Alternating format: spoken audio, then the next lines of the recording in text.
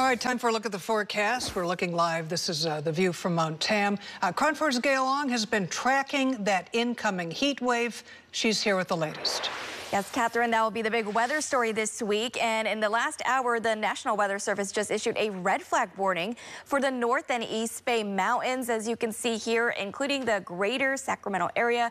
So it's going to be a lot. Not only that, right behind this, it's going to go in effect tomorrow night into Wednesday afternoon. We're expecting some dry, gusty offshore winds, low relative humidity, and of course, that triple digit heat.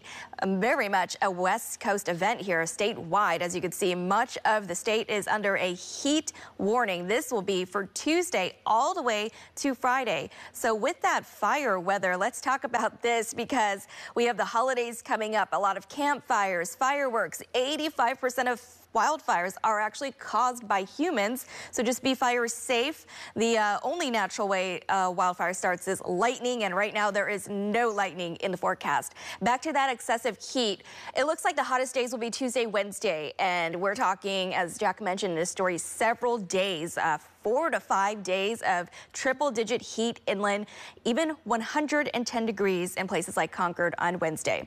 So today, this was the last uh, one of the last days of near normal temperatures. So we had a very pleasant weekend, you know, in the mid to low 90s inland, 70s and 80s across the bay, 60s by the coast. But keep that in mind. You'll be hearing a lot of this, of that heat wave coming up Tuesday. So tomorrow you'll start to feel it with upper 90s inland, but Tuesday you can also see 90s around the Bayshore and a lot of you do not have AC. So we'll talk more about this excessive heat warning and the red flag warning when I come back in a few minutes. Back to you.